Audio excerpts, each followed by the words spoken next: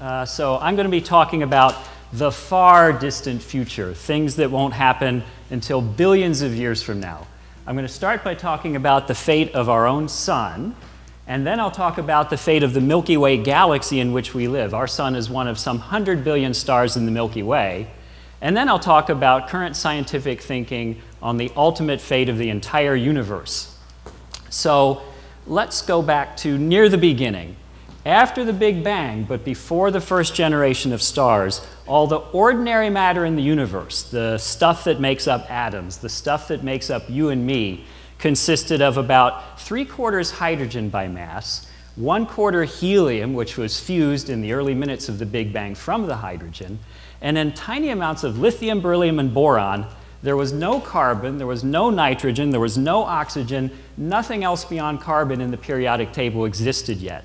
One of the most amazing things that human beings have ever learned about ourselves and our universe is that every atom in our bodies, except for the hydrogen, we don't have helium in our bodies, were formed inside the cores of stars billions of, sorry, yes, billions of years ago at temperatures of millions of degrees. And so that means that we are literally, not figuratively, but literally made of stardust. Now, the sun formed from the collapse of a big cloud of interstellar gas and dust about 4.6 billion years ago. Like the universe as a whole, it was made mostly of hydrogen and helium. And the way that it gets the energy by which it shines, which is true for all ordinary stars, is by fusing hydrogen into helium via thermonuclear fusion in its core. Only in the core, not in the rest of the star, because only in the core is it hot enough about 15 million Kelvin, about 28 million Fahrenheit, for fusion to occur. Now, the sun is certainly large, uh, it's very massive, but not infinitely so. And so that means it doesn't have an infinite supply of hydrogen fuel at its center. Eventually, it's going to run out. Eventually means about 5 billion years from now. And what the sun is going to do when that occurs is pretty remarkable.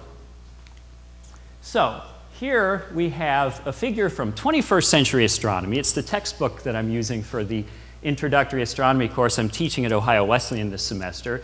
The publisher W.W. Norton and Company kindly gave me permission to use this in the next figure in my talk here. Uh, I want you to look first up here at the top is a representation of the sun as it is today as a main sequence star. That means it's still fusing hydrogen into helium inside of its core. This is a blown up version of it for clarity. But what I really want you to look at is down here, the big red orange thing there. That's what the sun is going to become after it runs out of hydrogen in its core. It's going to swell up until it's some 50 to 100 times bigger in diameter than it is now. It's going to become some 2,000 times brighter than it is now. It's going to be what astronomers call a red giant star. So that is in its correct relative size to the sun as it is today. It's going to become a monster of sorts. Now, I hope you're wondering why would running out of fuel make the sun swell up and become a monster like that? Well, it has to do with a balance of opposing forces. So the sun today represents a balance between the inward pull of gravity, trying to crush it under its own weight, and the outward push of, push, uh, push of pressure, which is counterbalancing that. Today, the sun is in a stable equilibrium between the two, and the way that's maintained is via those thermonuclear reactions of hydrogen into helium in its core. That keeps the core hot enough and at high enough pressure to support the weight of the layers above it. But when the sun runs out of fuel in its core, gravity is going to start getting the upper hand over pressure in the core. And so, over a period of some 1.3 billion years, the core is going to shrink as a result of that. And that means it's going to be losing gravitational potential energy. But that energy doesn't just disappear from the universe, it gets converted into thermal energy, heat, and radiation. So the core is going to be getting hotter as this continues, and it will heat up the layer of unburned hydrogen, whoops, of unburned hydrogen surrounding the core, and it will continue fusing then hydrogen into helium in a thin shell surrounding the core, but much faster than in the core today because this shell will be at such a much higher temperature than the core is now. And it's the release of all that energy that will cause the sun to shine so much more brightly then, and also to increase the pressure in the sun's outer layers and cause them to swell up like that. Even the cockroaches are not going to survive this. So, uh, the sun will be at this point at the beginning of the end, but not at the end yet. It still will have some tricks up its sleeve. Uh, eventually, the contraction of the core, which will be inert helium, will make it hot enough, about 100 million Kelvin, to fuse car, uh, helium into carbon and oxygen in its core. And so it will then have another source of nuclear energy uh, helium fusing into carbon and oxygen in the core, hydrogen still fusing into helium surrounding the core. After 100 million years or so, it'll run out of helium fuel, and then the carbon oxygen core will begin to contract and heat up. Helium fusion will continue in a cell surrounding the core. And then we'll have this the sun will become a red giant for a second time. This time it will be called an asymptotic giant branch star, and it will be even more impressive than it was as a red giant the first time. More than 5,000 times brighter than it is now at its brightest, even bigger than it was at a red giant. But it turns out that the helium burning shell will be unstable. And as a result of that, every few hundred thousand years, it will flare up and release lots and lots of energy.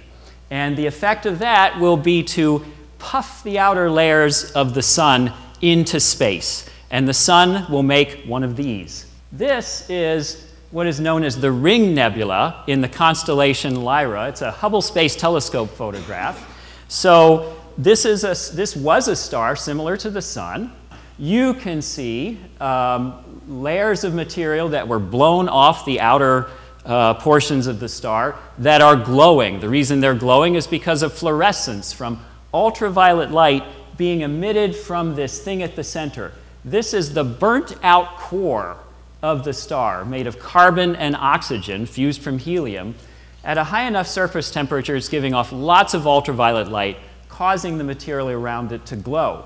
Now, that material, in about 10,000 years or so, an eye blink astronomically speaking, will fuse into the interstellar medium and just disappear. And all that's left will be the core at the center. That will be the final remnant of the sun, the burned out carbon oxygen core that was left over after it formed a nebula like this. And that object is what is known as a white dwarf which is remarkable indeed. If you were to take a teaspoonful of material from its surface, you would discover it's extremely dense because the sun as a white dwarf will have about half its current mass still left over, but it will only be about the size of the Earth. And that means it'll be so dense that a single teaspoonful of material from it would have about the mass of a UPS delivery truck. But because of its small size, all the mass being so concentrated, the gravity at the surface will be so strong that the weight of it, remember there's a difference between mass and weight, the weight is the gravitational force, the weight of that teaspoon would be about half a million UPS trucks worth. So, what would it be like to stand on the surface of a white dwarf? Well, it wouldn't really be like anything. If you could get Scotty to beam you to the surface, before your neurons could communicate with one another, you would go and just get squashed flat and vaporized and just become part of the white dwarf. So it's not like anything to stand on the surface of a white dwarf. Kind of incompatible with human existence. Okay, so that's the fate of the sun. What about of our galaxy? Well, it turns out that the sun's environment in its final years is going to be very different, cosmically speaking, from what it is now. We live in the Milky Way galaxy, which is a spiral galaxy. Because we live inside of it, we can't see what it looks like from the outside, but astronomers can study it in enough detail to, to know that if we saw our own galaxy from the outside, it would look a lot like this one, NGC 6744. Our galaxy is about 100,000 light years across from one side to the other. So, light traveling 670 million miles an hour would take 100,000 years to go from one side of the galaxy to the other. If you represent the distance from the Earth to the Sun as being two millimeters, then to that same scale, our galaxy would be the size of the actual Earth. It's enormous. Now, this is the Andromeda Galaxy. It's the nearest large spiral galaxy to our own spiral galaxy. It's actually a bit larger than ours, about 150,000 light years across. It's 2.5 million light years away, so the light that was used to make this photograph left the Andromeda Galaxy two and a half million years ago before our species had even evolved yet. Something to think about. Anyway, Andromeda Galaxy and our galaxy, it turns out, observations show, are falling towards one another because of their mutual gravitational attraction. And in about 4 billion years, which note is sooner than the 5 billion years it'll take the sun to start becoming a red giant, the two galaxies are going to approach, collide, and merge with one another and form a different type of galaxy called an elliptical. And here is a video of a supercomputer simulation of that merger. You can see time here in the simulation at lower right, so it certainly speeds up time. Our galaxy does, in fact, rotate about four times every billion years. Now we zoom out, and here we see the Andromeda galaxy and a smaller spiral called the Triangulum that's near Andromeda. And so soon, well, in only a few billion years of simulated time, the two galaxies, the two large galaxies, will approach and begin to collide and merge. No stars will be harmed in this process, they're too far apart. But notice that many stars are carried off into intergalactic space uh, in what are known as tidal streams. And it's entirely possible that the sun will be in one of those tidal streams so that it will spend its final days all alone in intergalactic space. I sort of imagine it whimpering to itself. Or uh, it might remain part of the final elliptical galaxy that forms. But either way, the night sky is going to be very different when the sun is in its final stages than it is today. So, what about the universe as a whole? Well, you've probably heard that the universe is expanding because the space between the galaxies is stretching out. That's a prediction of Einstein's theory of general relativity. Until the late 1990s, it was expected that the expansion of the universe was slowing down. It was thought that the gravity would be slowing the expansion down, but in 1998, two independent teams of astronomers both announced the same remarkable result. Those teams of astronomers were studying what are called type 1a supernovae. A type 1a supernova is an exploding white dwarf in a binary star system. Now, this is a relatively nearby type 1a supernova in a, another spiral galaxy called NGC 4526. So, this is actually in the outer reaches of that galaxy. It's one of my favorite Hubble Space Telescope photographs. Uh, a type 1a supernova becomes 4 billion times brighter than the sun when it blows up. So that means we can see them across cosmic distances to billions of light years. And what these teams of astronomers were doing was studying the brightness of type 1a supernova in very distant galaxies. And what they both discovered was that the supernovae were fainter than they would be if the expansion of the universe had been slowing down. The reason they were fainter is because they were further away than they would be if the expansion of the universe were slowing down. The implication was that instead, the expansion of the universe is speeding up we say that the expansion of the universe is accelerating. Now, we can understand why the, ex the uh, expansion would accelerate, again, in terms of Einstein's theory of general relativity, which predicts that if there's an energy intrinsically associated with empty space, it would act as a sort of negative gravity that would speed up the expansion instead of slow it down. And the name that astronomers have given to this energy is dark energy, both because we can't see it and because we're in the dark as to what it actually is. And since we don't know what it is, we don't know exactly what it's going to do in the future, but there are three possibilities which can be considered. So, one possibility is that the dark energy is what we call a cosmological constant, or in other words, the amount of dark energy per cubic meter stays constant as the universe expands. In that case, the universe's scale would continue to increase exponentially. Eventually, every galaxy outside our own would be moving away from us faster than the speed of light. What? I thought relativity said you can't have things move faster than the speed of light. Well, the, the speed of light is a speed limit on how fast things can travel through space, not on how fast things can move further apart because of the expansion of the space in between them. So eventually, our galaxy would be isolated from every other galaxy in the universe. Uh, and then, when all the stars have burned themselves out and all the black holes have evaporated, then the universe just becomes cold and dark and empty and more empty over time. Uh, and that's called the Big Freeze.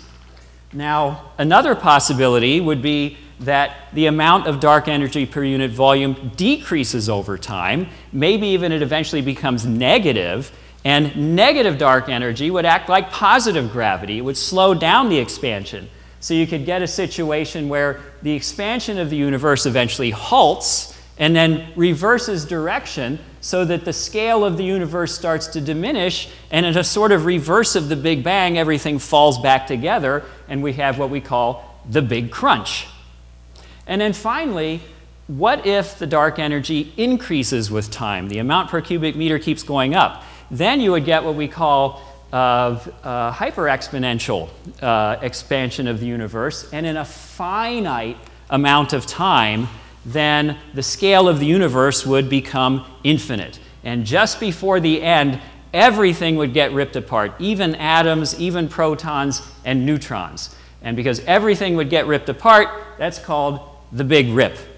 Now, I can't resist the temptation to point out that uh, if you saw uh, Sean McCulloch's excellent talk earlier, you'll know why I say this. At, in, in any of these scenarios, at this point, all computer programs would cease to run. So, in that sense, it's decidable. They're all going to stop running eventually. ha, evil program. Okay, but in any case, uh, none of these scenarios is particularly rosy in terms of the continued existence of intelligent life. But the way I look at it is this it's billions of years from now, for one thing, so you know, don't lose any sleep over it. And another thing is, I think that what it should do is make us appreciate even more the beauty and the majesty and the fireworks of the era of the universe in which we do find ourselves living. Thank you.